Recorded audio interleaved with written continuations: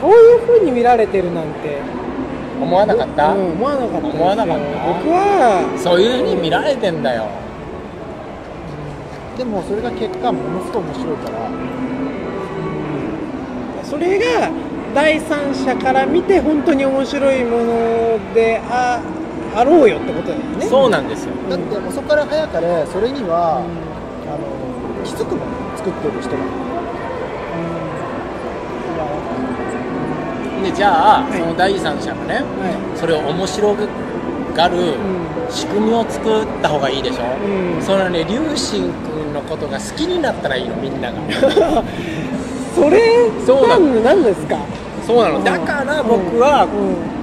龍神君に月一でうん。ちっちゃい銭取ってうん。毎日あげるサービスしたらどうやって言うたんははそこがあるんですよ。い、実は龍神君はい。クラブを作れとで龍神君好きになったらついていくから。ほんで分かっていくから。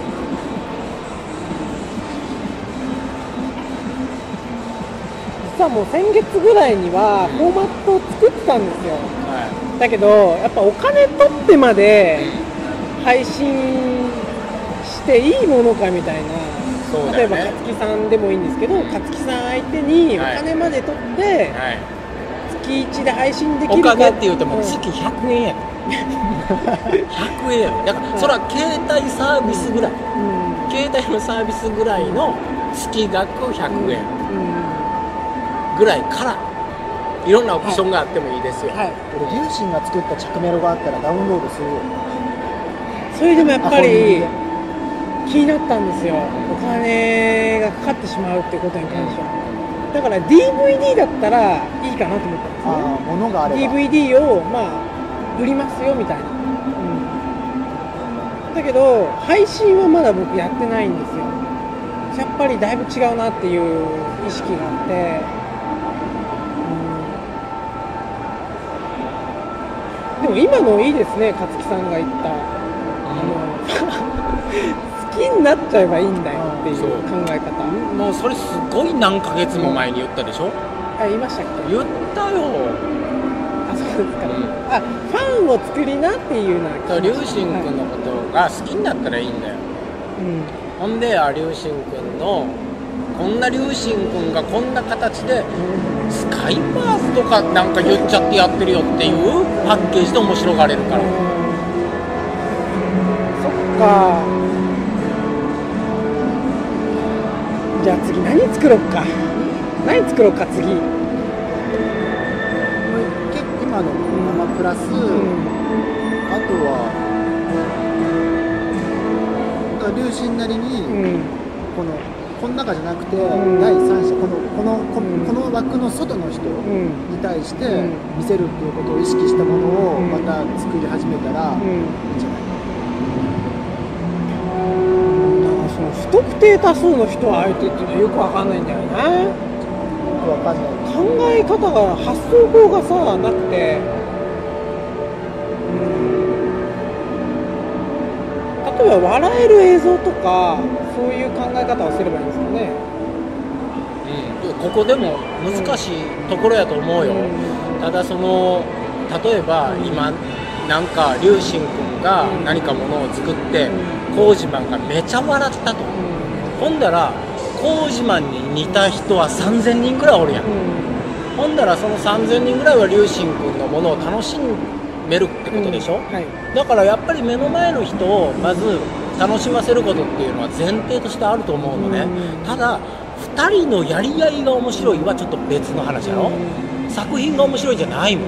それはやり方が面白いってだけじゃんかだからやっぱりそこには作品が面白くないとダメなんだ。よじゃないですか。ほんでじゃあスカイパーズとしての面白さはないのかって言ったらまた別であるの。それはみんなが参加すること。スカイパーズの面白さは。みんながスカイパーズになれば面白いわけよ。みんながスカイプバーってあってさその中のメンバーが全員スカイパーズでバーってやり合いしたら面白いでしょ、ううですねそうですね。デジオ宇宙みたいな感じですよね。うん。確かに。やり方と出来上がったものっていうのは違うよね。ただ出来上がったものをさ知らない参加してない人に売るなんていうのはもう変な話なんだよ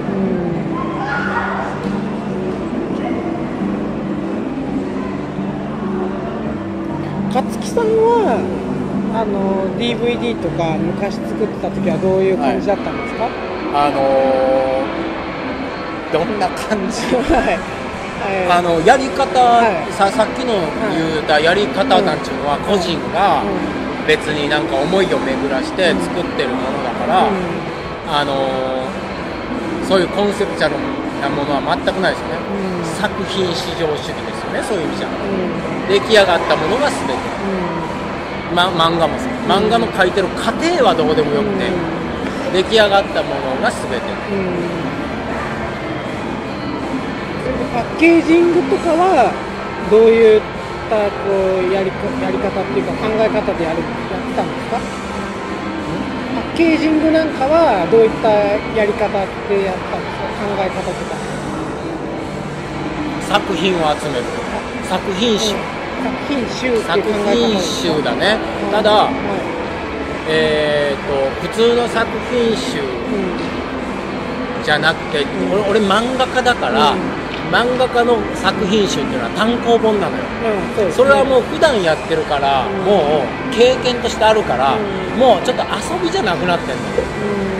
うだけど DVD メディアっていうのは当時新しかったの。よ、うん。これであのなんか自分の個人的な作品なんかをパッケージにして出したら面白いなっていう発想がまずあってそれが新鮮だったのね。そういうのは、ま、ないなと思ったのよ。でやりたいなって思った。だからパッケージとしてものの魅力もあったの。DVD 自身に対する魅力を感じながらやってたんうん、ですよ、漫画の単行本じゃなくてまだ流通メディアもどうなるかわかんない、うん。どこで DVD って買えるのってわかんない。そうですね。うんっていうなんかこう新しいものに対するわけわかんないものに対するワクワク感があるんだよね。でそういうものはすごいものを作る時のモチベーションになるのよわかんないものって赤ちゃんとか田中棚夫とかやっぱちょっと違いますもんね。あの映画の DVD と作りが。う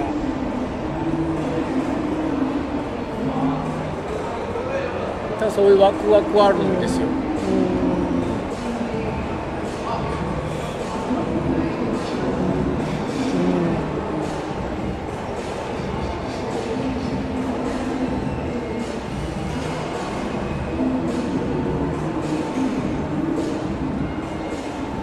作品集僕作る時ってアルバム感覚なんですよねそうだねは龍神君はそうやって作ってるね、い、で全部アルバム感覚だね全部そうでしたねうんでもそれはね龍神君のファンだったら楽しいようん、だからうんアルバム感覚で作るんなら、もう家族にしちゃったらいいじゃん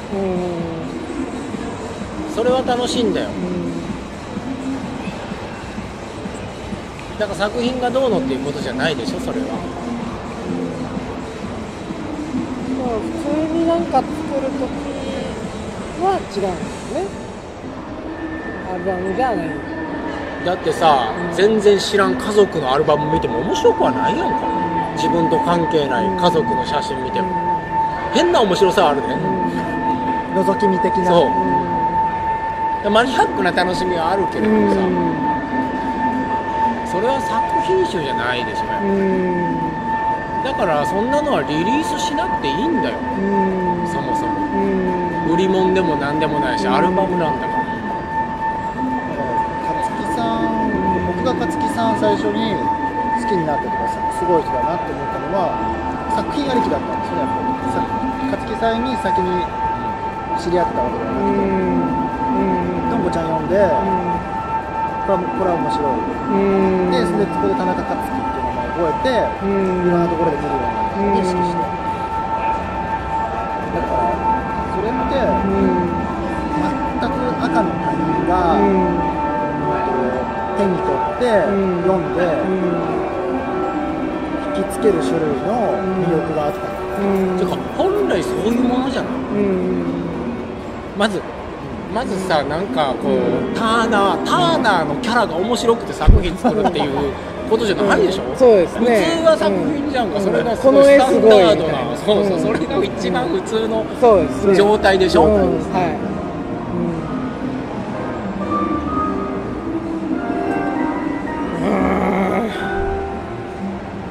うん、だからなんか僕は作品作る時もアルバム的なんですよ、あうん、なんか生活と密着してるんですよ。そうやね、うん。だからねそこがすごい面白いと思うのよな。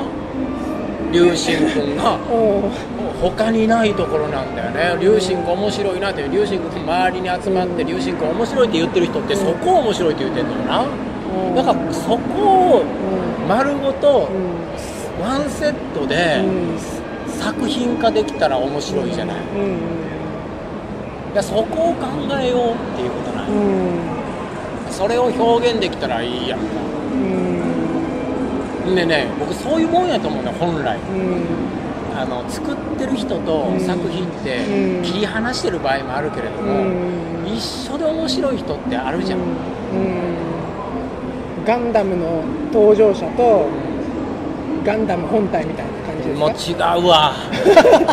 違う本当違うガンダムパイロットプラスガンダムっていう話じゃないんですか、少しでも龍何神はいもう少しでも龍神を露出したくって龍神っていうこのキャラクターに見た目も含めての、うんだから今回の新宿の表紙は龍神の顔にしたんだよね、うんはうんうん。あのねまずね普通じゃないっていうところでも龍神が面白いの。うんこいつ普通じゃねえなっていうのは面白いんだな、はい。さっきの言うちょっとわけのわからんものに魅力なんですよ。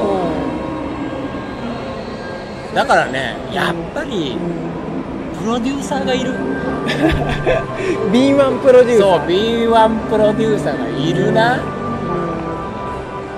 神はそれがビジュアルにも出てるじゃん T シャツとか？うん、T シャツとかあと写龍神の正面の真顔の写真とかさ。真顔？あれ？面白い。だからパンジーと龍神っていうだけでも一枚の面白い写真になるんだもん。うん。それはすごいいいじゃんか。うん。ただそこをさ、はい。龍神君が突き戦略的に突き詰めててもそれはあんま面白くないわな、うん。だから龍神君はあくまでもうん僕はやっぱ作品としての高めをね、うん。していった方がやっぱ僕はいいと思うんですよ、それは。うん。だって後からついてくるんだもんそのキャラクターの面白さなんて、うん。どうしても出てきちゃう部分でしょ、うん。粒子エキスがもう溢れてしょうがないっていうね結果そうなわけで、はい。どうやって粒子エキスを溢れさそうなんちゅうのは癒やしい考え方だからね。粒子君は作品を面白くしてくれてたらいいのよ。やっぱりそこは、で結果溢れ出た粒子エキスでいい。うん。ということは、はい。それは元いでうん。作品を面白くしようと、うん。じゃあリリースすることって何なんだと。うん。こいつを満足させそのそこいつの向こう側にいる知らない人を満足させるものって何なんだっていうことは考えてもいいかもな、うん。ちょっと考えてみます。それはじゃあ、えーリリースについて考えていくということで。そう売る、はい。そうですね。はい作品について考える、について考えてみるとうんいうことで。一応じゃあ FM 流信はここら辺で終わりにさせていただきたいとはいどうも。思い。ますはいありがとうございます、今後が楽しみでございます、はい。おやすみなさい